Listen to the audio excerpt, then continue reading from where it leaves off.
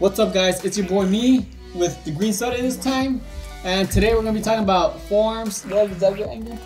We're going to be talking about forearms and why you should train them and what how to train them. So roll the intro and start the time. To the window, to the wall. Alright, so forearms are a muscle that not many people train purposely. Like everybody trains them without wanting to. They're muscle that will grow when you're working on different exercises such as shoulder press, shoulders, back, arms especially, and, and not that not that much to a chest, but it will depend on the movement. But if you're like me and you lack forearm strength and you want to increase your other other movements such as such as your deadlifts, your shoulder presses, everything that is that involves a strong grip, you need to train them separately. So what I like to do is I like to do a circuit of, of three movements. I, there's a, there's plenty of movements that you can do to grow your forearms, and there's pl plenty of accessories that you could use with um, other movements such as uh, the wider grip thing, the bigger grip thing. Uh, but what I like to do, I like to do a circuit of three movements. I like to do regular regular forearm curls. I do that for as many reps as possible, one arm at a time.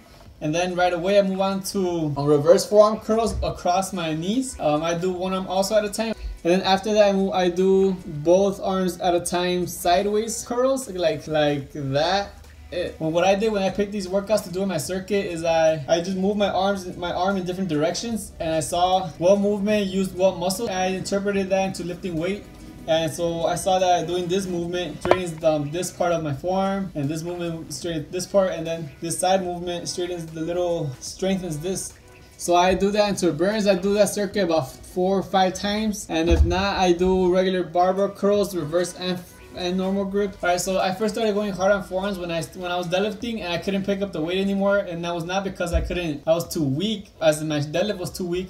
Was because my forearms were too weak. I was trying to lift the weight up. I kept on losing grip. And I did research and I saw that when you're having trouble deadlifting and you can't go heavier because of your grip, you're obviously supposed to work on forearm. I was almost immediately that, went, that I noticed that I had a stronger grip and you also get some sick ass forearms, which was also one of my main goals. I want to have huge forearms. This is nowhere near what I want it to be. But yeah, that's it. Hopefully I made it two minutes. Thank you guys so much for watching. Like, subscribe, and comment. And I'll see you guys in the next video.